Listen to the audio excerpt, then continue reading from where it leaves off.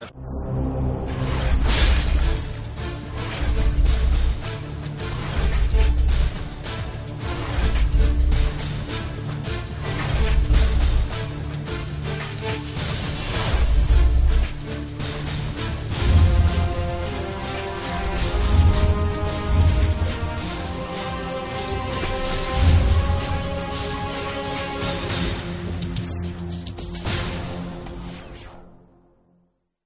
九六六年十二月一日，国民党高级将领白崇禧在台湾去世。十二月九日上午，公祭仪式在台北市殡仪馆进行厅举行。上午七时五分，蒋介石亲临现场，向白崇禧遗体告别，并献花致祭。行礼后，蒋介石特意上前对白崇禧的家属说道：“有困难，来官邸找我。”不料白崇禧的儿子白先敬却脱口而出：“白家子弟没有困难。”蒋介石听罢，只得好好两声，气氛也是十分尴尬。在外人眼里，白家十个孩子中，白先敬的性格最像白崇禧，而白先敬觉得，他这么说就是要给死去的父亲争一口气。那么。年纪轻轻的白先敬，当时为何要一口拒绝蒋介石的好意呢？白崇禧和蒋介石两人之间，到底有着怎样的过节呢？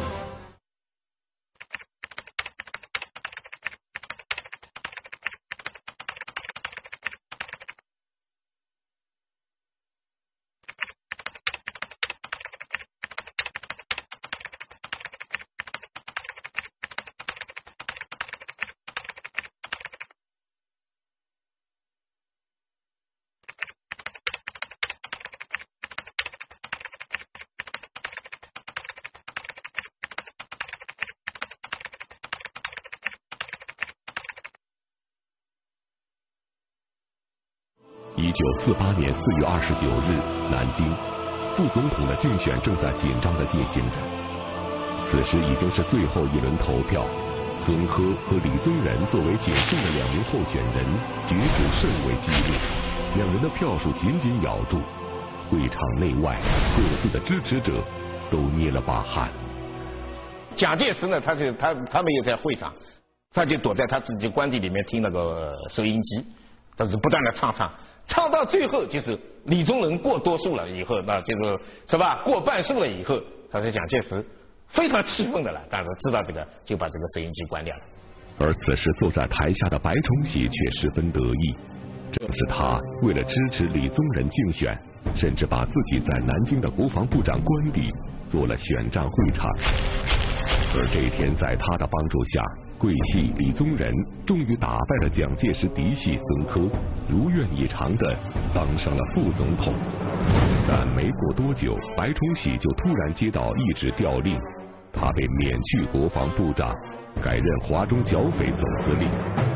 签发这一调令，命他离开南京去武汉的，正是中华民国总统蒋介石。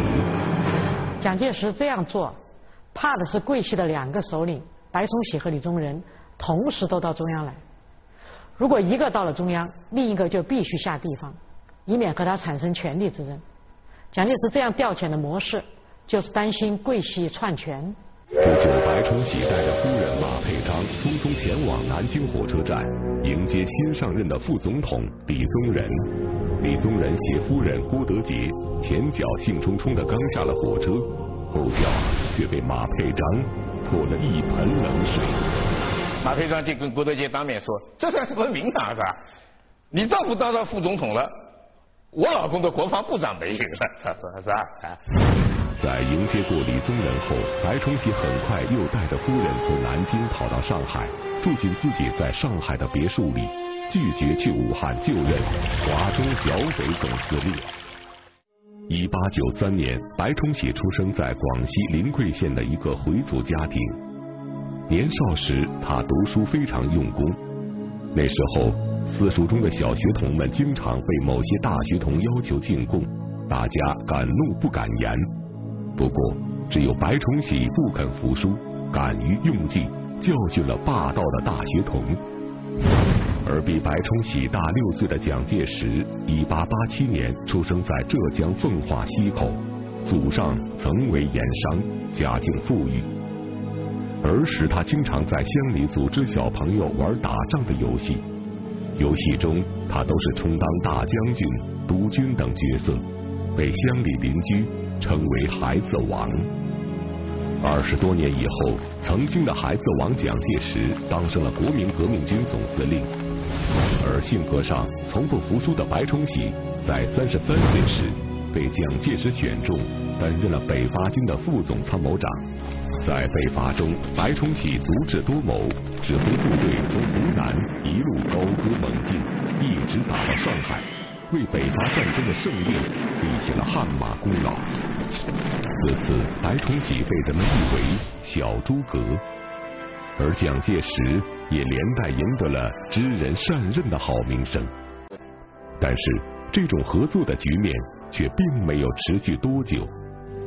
据李宗仁回忆录记载，一九二七年的某一天，蒋介石私下里对张静江抱怨说：“白崇禧是行，但是和我总是合不来，我不知道为什么不喜欢他。”很快，蒋介石的这种判断就成为了现实。一九二七年北伐战争尚未成功，蒋介石在国民党中的地位不稳。桂系白崇禧和李宗仁趁机武力逼宫，造成蒋介石被迫第一次下野。随后又于一九二八年爆发了蒋桂战争，结果桂系大败。一九三一年九一八事变爆发。桂系李宗仁和白崇禧趁机第二次逼迫蒋介石下野。一九三七年七七事变爆发，在民族危急存亡的关键时刻，蒋桂总算捐弃前嫌，共赴国难。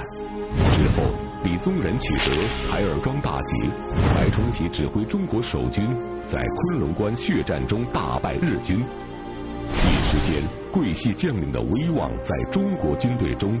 走出了许多，但是到了一九四四年二月，正当侵华日军收集重兵，发起所谓一号作战，急于打通大陆交通线之际，白崇禧却突然现身桂林老家，为自己的母亲马老夫人办起了九十岁生日的祝寿活动。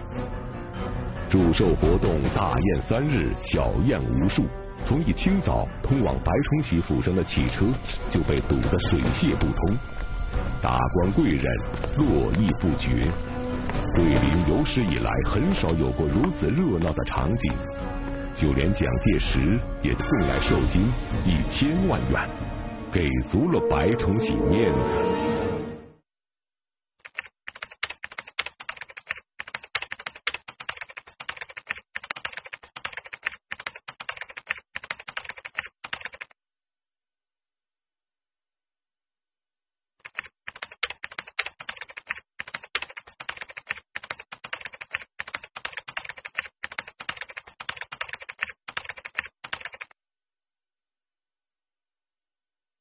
上市长吴国桢和上海文人杜月笙等相继来到白府拜访，请白崇禧喝酒看戏。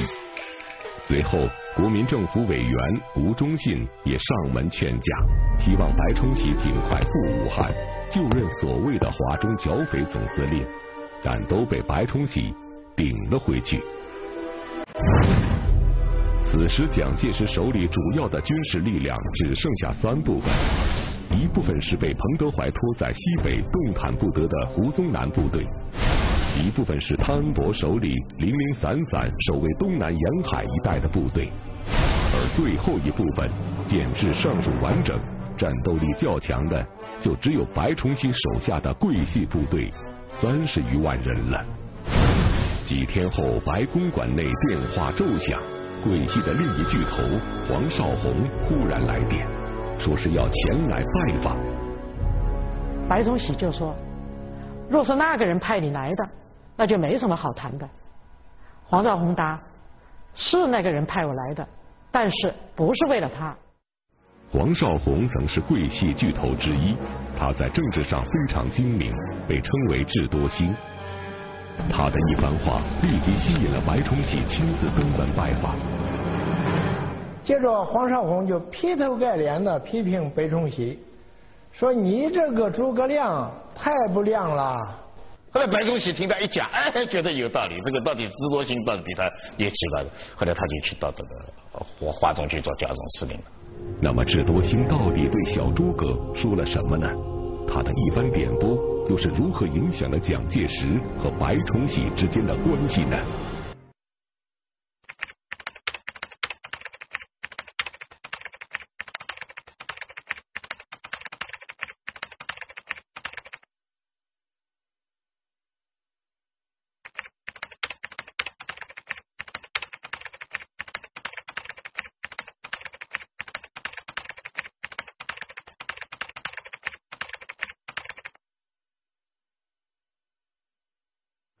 原来白崇禧发现，原徐州剿总的作战方案已经将国民党部队沿陇海线一字排开。白崇禧认为，这样布置兵力非败不可，而由他重新布局，已经时不我与了。根据白崇禧传记载，白崇禧为了防止日后战败担责任，索性就拒绝了蒋介石的委任。不过，他的拒绝，蒋介石却不明就里。不久，白崇禧的老搭档、副总统李宗仁官邸附近，突然出现了一个神秘的旧书摊。那位旧书摊老板的举止有些奇怪，他不是在看管书摊，倒好像在监视着什么。眼睛目不转睛地看向官邸那扇紧闭的大门，而书摊附近还总有一些身影，若隐。若现，这些人正是当时保密局局长毛人凤指挥的特别行动组的特务，他们的任务就是专门监视李宗仁的行动。李宗仁的秘书程思远在《白崇禧传》中曾经写道：“依据蒋介石的判断，白崇禧之所以拒绝指挥中原大战，其中一定是李宗仁在捣鬼。”一九四八年十一月，淮海战役打响，国民党主力黄百韬兵团在碾中被包围。蒋介石命令白崇禧调动华中部队去解围，但白崇禧却依旧拥兵抗命。蒋介石无奈，只得越级指挥，把划归华中剿总指挥但属于黄埔嫡系的宋希濂兵团调往汉口，准备东运。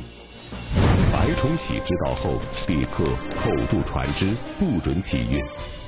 蒋介石无奈之下，亲自打电话恳请白崇禧增援，但白崇禧死活不同意。蒋介石很愤怒，指责白崇禧违抗军令。白崇禧也不甘示弱，说合理的军令我执行，不合理的军令我就不执行。如果你觉得我不行，撤我的职好了。蒋介石把电话一摔，大骂娘西屁。而事实又一次证明了白崇禧事先对于徐州剿总兵力布置不当的判断是对的。不久，蒋介石在淮海战役中遭到惨败，损失主力部队五十五万五千余人，而白崇禧的桂系部队却保存了实力。一九四八年年底，蒋介石的主力在三大战役中已被大量歼灭，蒋家王朝岌岌可危。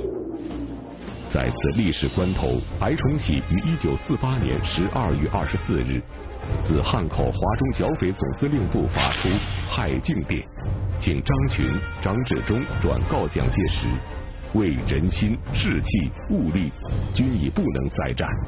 请立刻停战，并和共产党言和。蒋介石面对白崇禧咄咄逼人的言辞，始终不愿做出正面回应。一九四八年十二月三十日，白崇禧再次发出害权通电，主张另外寻找适当人选，代表国民党和共产党谈判言和，敦促蒋介石表态。河南、湖南、广西各省也紧随其后，纷纷响应。这个时候叫你停的话，这时候叫你下野了，是你要坚决打的。现在打不下去的话，你就没办法交代。白崇禧的两封通电表面上是主和，但实际上是逼宫，是逼蒋介石下野。而这一招正是早先黄绍竑对白崇禧的建议。蒋介石在党内压力下，只得做出决定，将李宗仁推到前台进行和谈，以拖延解放军过江的时间。一九四九年一月二十日上午十时许。蒋介石召集在南京的党政军高级人员百余人，在其官邸举行紧急会议。他从衣袋里掏出一张拟好的文告，告诉李宗仁说：“我今天就离开南京，这里是一份我替你拟好的文告，你就来签个字吧。”李宗仁在文件上欣然签字。签字后，会场上一片哭声。有些嫡系官员甚至大喊：“总统不能退休。”蒋介石操这个奉化官腔，他说：“这目的下台，对吧？不是中共一个，是我们党内某一股派系，对吧？哎，这个大家都知道，这个派系它就是指新桂系。桂系总算等来了扬眉吐气的这一天。一九四九年一月二十一日，蒋介石发表了隐退谋和文告。文告中表示，依据《中华民国宪法》第四十九条，总统因故不能逝世时，由副总统代行其职权之规定。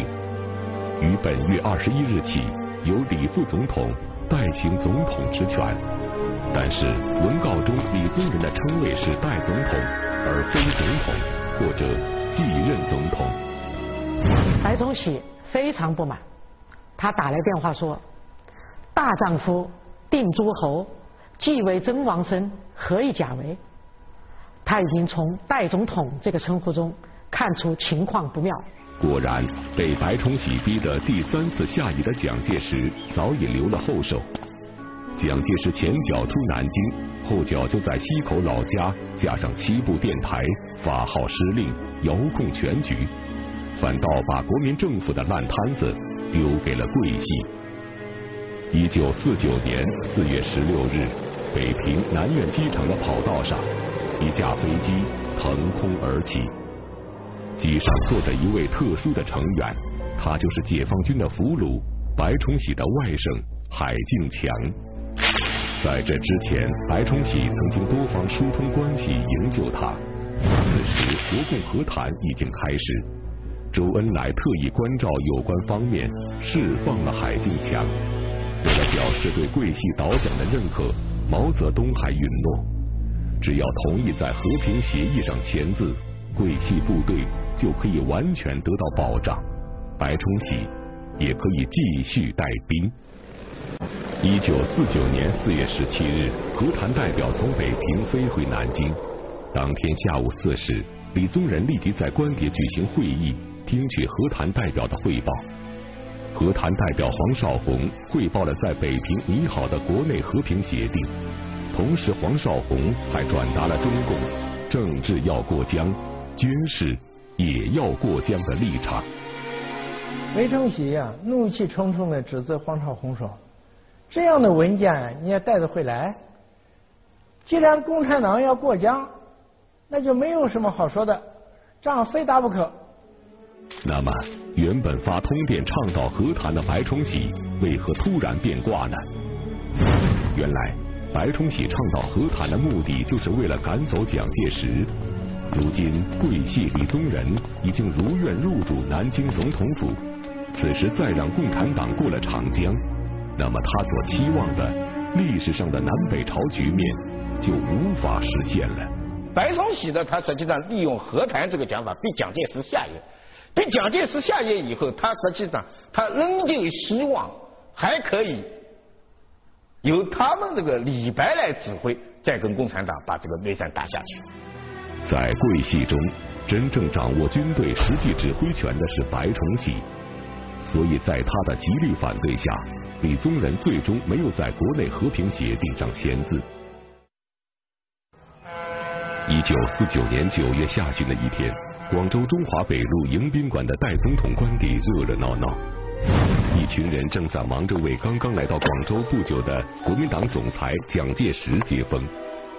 徒有虚名的代总统李宗仁已随国民政府逃到广州。宴席上，宾客之间推杯换盏，一片和气，但蒋经国却忙前忙后，始终未见入席。就在蒋氏父子离开后，李宗仁才得知，原来在吃饭时，蒋经国竟当起了厨监，在厨房中亲口查验每一道饭菜。那么，李宗仁明明是真请客，怎么却成了蒋介石眼中的鸿门宴呢？而这对鸿门宴和白崇禧又有什么关系呢？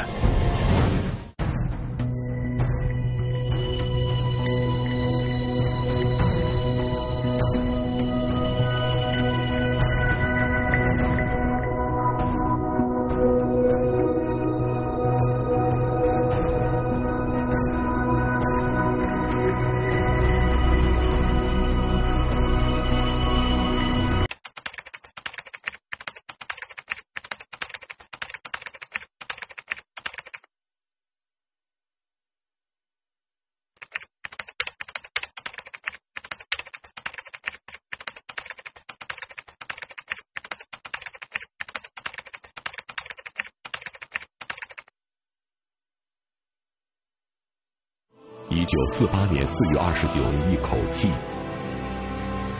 那么，年纪轻轻的白先敬当时为何要一口拒绝蒋介石的好意呢？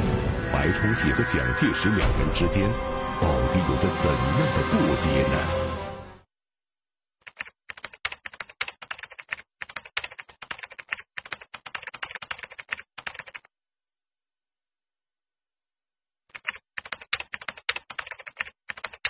困难来官邸找我，不料白崇禧的儿子白先敬却脱口而出：“白家子弟没有困难。”蒋介石听罢，只得好好两声，气氛也是十分尴尬。在外人眼里，白家十个孩子中，白先敬的性格最像白崇禧，而白先敬觉得，他这么说就是要给死去的父亲这。一九六六年十二月一日，国民党高级将领白崇禧在台湾去世。十二月九日上午，公祭仪式在台北市殡仪馆进行厅举行。上午七时五十分，蒋介石亲临现场，向白崇禧遗体告别，并献花致祭。行礼后，蒋介石特意上前对白崇禧的家属说道：“有。”